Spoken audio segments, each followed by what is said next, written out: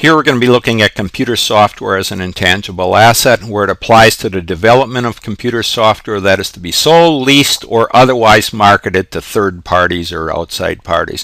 And we're going to be looking at accounting and reporting where it applies only again to the software developed for external purposes here. Now computer software created for external sales or sales here to third parties. You'd expense the costs as incurred in creating the product as research and development expense up until it's established that the software is technologically feasible. Is that is you have a design and have a working model here on this software. Then any costs after that here, well, we'd capitalize future costs incurred on this software. So after uh, we've uh, come up with our working model here, we would have expensed all those costs up until that point, and then we'd capitalize any remaining costs after we had this working model here. Now, technologically, feasibility is established when the detailed software program design or working model is complete here. Okay, so we capitalize the software costs at one here, either the lower of the unamortized cost, or that's the uh, book value here we had established on this software here, or the net realizable value, whatever the lower amount is between those, the net realizable value or the unamortized cost. Now, if the net realizable value is lower, then you'd write down this value here uh, once, and once it's written down, it may not be written back up here. But if you come up with that net realizable value lower than your unamortized cost, then you, and if you had the unamortized cost on your book here, then you would have to write it down here to the net realizable value. Okay, let's look at our example here. Uh, computer software costs here and revenues here. Uh, so during 20X1, a software corporation here spent $10 million to develop its new, let's just say Xsoft software package. Of this amount here, 5,200,000 was spent before technologically feasibility here was established for the product and it will be marketed to outside parties. The package uh, was completed here on 1231 20x1 here. So the software was completed at that date here. And at that time, we had an expected useful life here of eight years, and the total expected revenues on this software here was, was estimated at $32 million. And then for 20x2, which we're going to be looking at here, uh, the revenues during that year here was $6,400,000. So the difference between our total expected revenues and the revenues for 20x2 would be the additional future revenues on this software at $25,600,000. Okay, now for our development costs here. Total costs we had developed this software was $10 million. Before technologically feasibility here was established on this software, we had spent $5,200,000. And that would go down as R&D expense here on our income statement. So that's our expense portion here of the $10 million. So the remaining amount here uh, would be after the technological feasibility here was established. That is simply the difference between total costs here uh, less the uh, our expense amount here of 5,200,000 gives us a total capitalized amount here of $4,800,000 that would be capitalizing here for this software.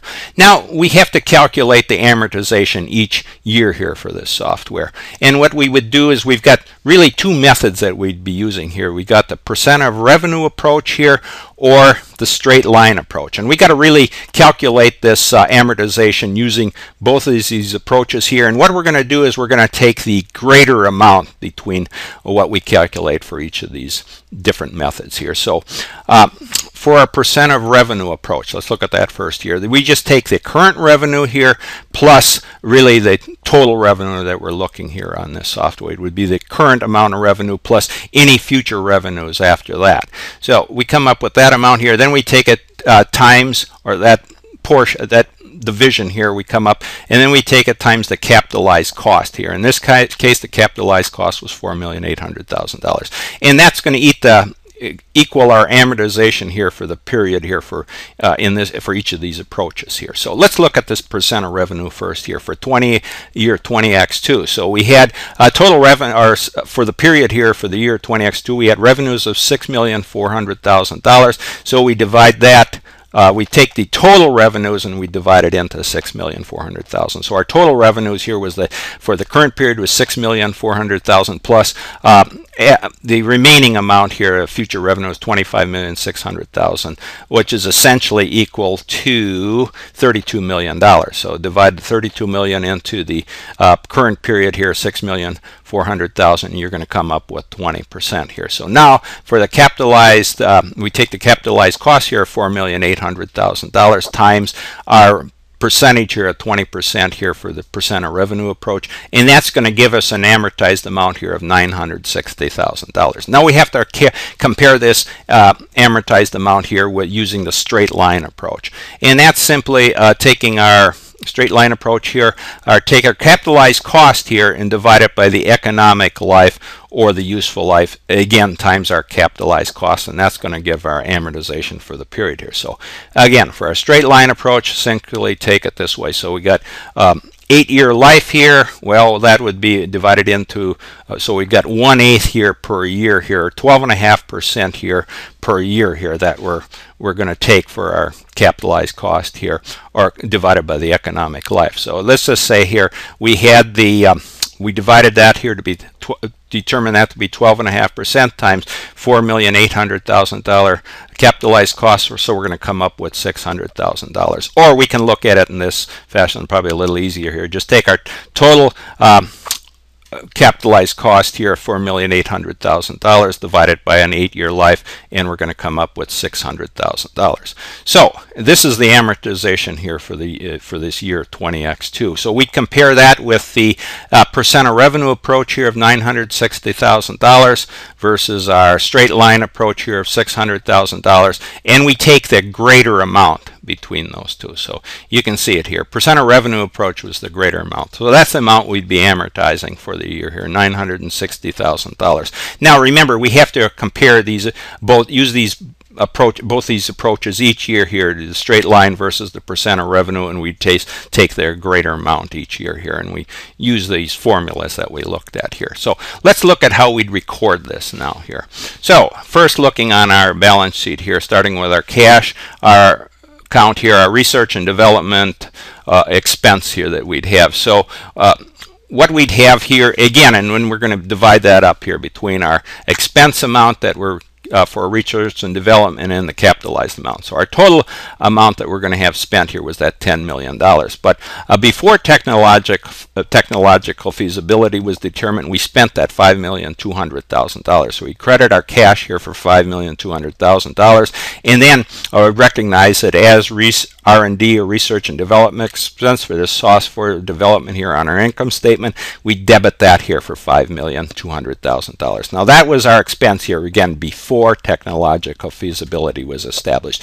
Now after we established our technological technological feasibility, then this is the amount that we capitalize here for this computer software and that was four million $800,000. Again, and we had completed that by 20x1 here. So we would have credited or reduced our cash account here for, for that amount here of $4,800,000. And then we would have had debited our computer software capitalized our computer software as a capitalized cost here $4,800,000 again in 20x1 now comes along 20x2 and this is where we uh, recognize our accumulated amortization here on this software. Now remember that's a contra account here to this software capitalized amount here. And again, on our balance sheet here, so our accumulated amortization here for the period here, we would have credited that here for $960,000. Now remember, that uh, was that amortization we calculated here. And this was using the percent of revenue approach here because that was the greater amount. For the straight line amount, we had 600,000, but for the percent of revenue approach, we come up with 960,000 for the year. So we would accredit our accumulated amortization for that amount, and then over on our income statement here, we would have recognized uh, again for that amortization of software expense here, 900 debit that here on our income statement for $960,000. So, and then again for this capitalized amount here for this computer software, you use the lower of the unamortized cost or the net realizable value. Well, we just use the unamortized co a cost here that we had allocated of, of $4,800,000. But if you would had uh, for whatever reason your realizable value would have been lower, then you would have put that in here. Now, and again, this is after this is the capitalized amount after technological feasibility here was was established, and that was we had completed this software on 1231-20x1. So that's the amount that we capital, capitalized here. Okay, so this just goes through an example here where we would looking at computer software that was developed for to sales to be outside the company here, not to be uh, used just only internally here, but it's for outside sales. So this is how you would have to record your entries here. And just remember, uh, let's go back over here one more time here. Just remember, for your amortization each year here, you have to look at the percent of revenue approach, which we went through here for our formula, and we have to also uh, compare. We have to compare it with the straight line approach here. So each each method you have to use here to determine what your amortization for the period would be and then you would take the greater amount between those two here so that's about what we're going to look what we looked at here now for uh, these were the key points here in this percent of revenue here in this straight line approach. And then one more other thing here. Just remember uh, the other key item here was uh, development costs. We had to divide, divide that up here. The total cost that we'd have, we have to divide it up here. The amount before technological feasibility was established, and then we have to take the amount after technological feasibility. So the before amount here gets uh, expenses, R&D expense here, and the after uh, after technological feasibility gets capitalized here on our balance sheet for this for this software here. So that's that's just a summary here on how we take care of this um, computer software here that's sold for outside uh, sold to outside or third parties.